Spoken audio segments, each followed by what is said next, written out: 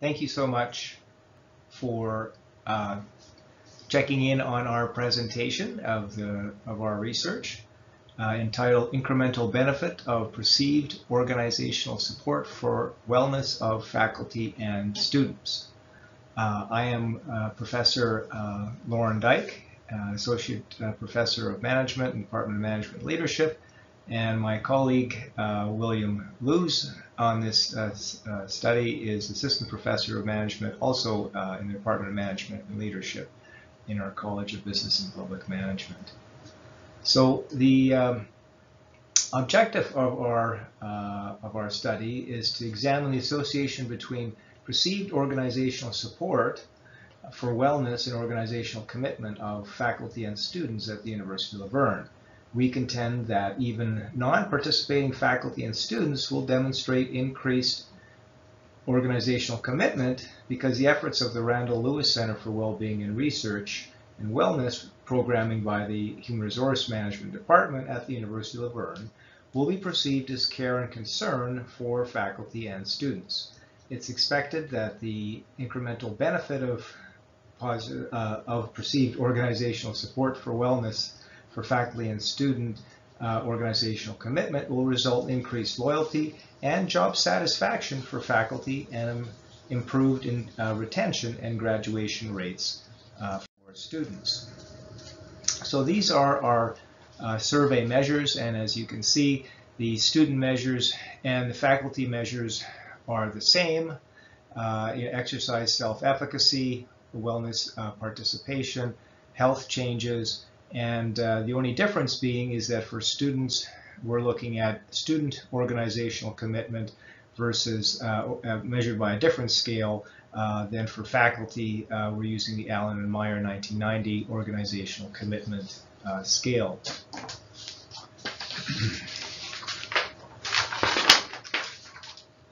So prior research underscores numerous benefits of wellness programs for employee and organizational outcomes. For instance, Parks and Steelman found that employees who participated in company wellness programs experienced decreased absenteeism and increased job satisfaction. Further research also associates work site wellness, nutrition, and physical activity program participation with a change in body composition, including de decreased uh, BMI, waist circumference, and body fat percentage. Organizations have received a return on investment of up to 6 to 1 on employee wellness programs. However, Dyck and Lovelace in 2012 found that employees could who could benefit the most from participating in wellness programs use it the least, citing the lack of employee interest and the lack of participation uh, on the part of high-risk employees as two common barrier, uh, barriers to successful wellness programs.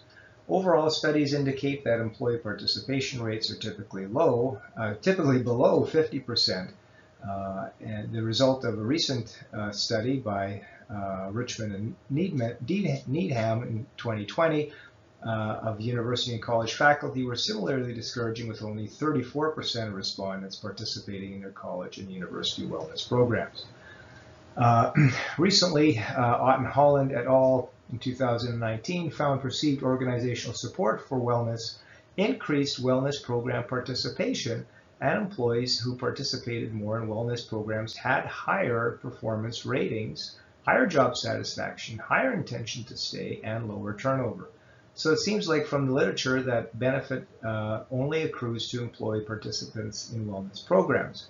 However, emerging research by Gubler et al. in 2018 suggests that the presence of worksite health promotion programs shows a perceived concern for employee well-being and as such increases organizational commitment, loyalty, job satisfaction, and gratitude to the organization.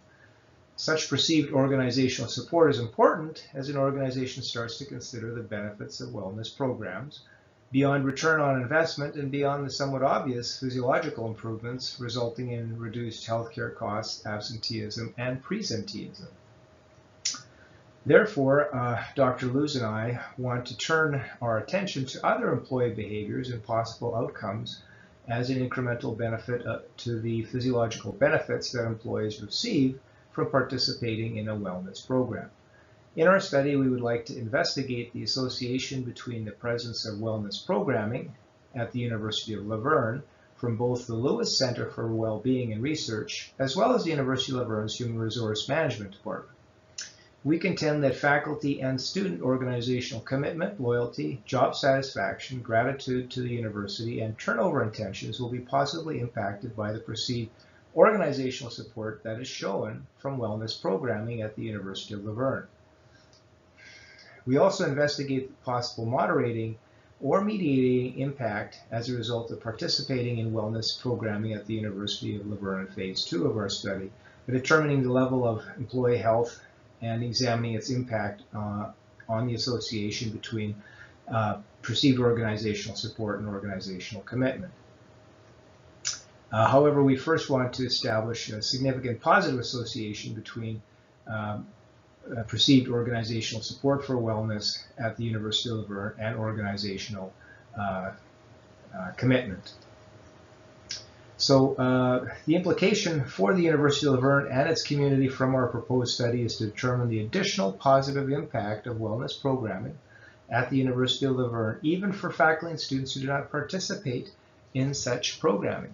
So what we've done so far is we have surveyed uh, students and faculty uh, in our in our first round, and um, this is what you know we we, we found. So for students, uh, ESE or exercise self-efficacy has a positive association with both measures of wellness participation. As we can see here, a significant uh, value for uh, ULV partic uh, wellness participation as well as uh, outside of uh, University of uh, La However, only wellness participation outside the University of La Verne is related to health changes. Uh, and then health changes has a significant uh, but negative relationship to organizational commitment. So it might be that um, you know COVID-19 pandemic had some impact on uh, student participation. You know, quite obviously, uh, you know, in in our uh, health uh, programming options at the University of, of La Verne. Um, so now for faculty, uh, ESE, again, exercise self-efficacy, has a positive association with wellness uh, participation outside the university. So we see here the uh, significant uh, uh, po significant positive relationship only here for outside the uh, University of La Verne, not, not using University of La Verne's programming. Um, and this has a significant relationship with health changes uh, with no parts, no, with no other parts of the model being significant, unfortunately. So that's where we're at with our uh, study uh, at, at, this point in time. Um, in terms of next steps, uh, we, we want to uh, test the full theoretical model with uh, perceived organizational support, as, as well as possibly some other variables. And so this is very much uh, in progress results. Uh, we need to, uh, we've, we've analyzed the first round of survey results. And so this is the, uh, and we have distributed this, these surveys again subsequently some sometime later. And so we want to, uh, our next steps are to uh, analyze that data. and then the, the second round of data does include uh, perceived organizational support, and other variables that we, that we hope will alter these results.